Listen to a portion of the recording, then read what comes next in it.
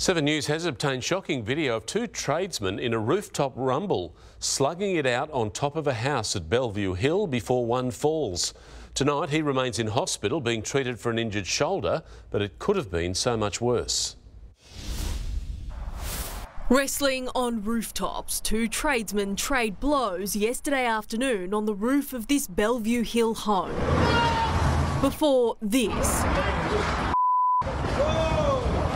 one of the men loses his balance, falling off the roof, crashing onto the concrete three metres below.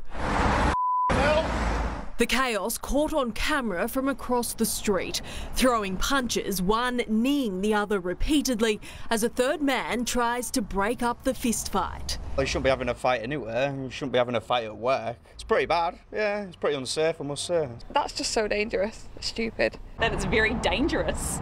And I hope that the person who fell off is going to be okay.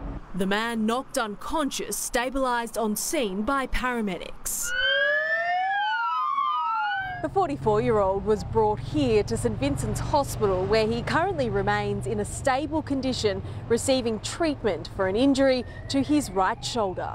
Police arresting two men in their 40s working for the roofing professionals Eastside. Both later released without charge pending further inquiries. The rooftop rumble now also under the spotlight by Safe Work New South Wales. Taylor Aiken, 7 News.